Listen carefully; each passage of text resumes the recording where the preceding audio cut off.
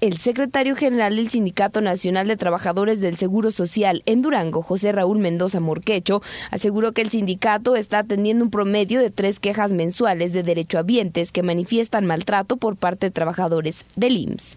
Eh, en promedio, al mes, quejas que nos llegan como, como sindicato eh, son alrededor de, una a, tres por, por mes. Pero a lo mejor a través de orientación y quejas pueda ser mayor el número, el cual nosotros no tenemos acceso, y que puedan ser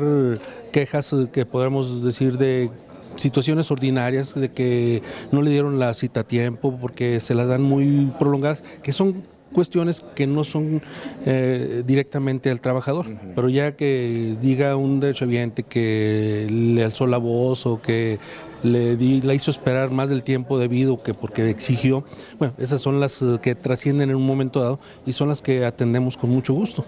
Respecto a las denuncias que también hacen derecho derechohabientes sobre la falta de insumos, advirtió que el IMSS tiene capacidad en un 90 y 95% de cubrir la demanda de los pacientes. No obstante, ese 5% de inconformes son aquellos que sobredemandan medicamentos es tanto el, uso del derecho derechohabiente que eso es lo que genera desabasto, pero se atiende en tiempo y forma. ¿Y qué tanto está el tema de las quejas que ustedes están atendiendo?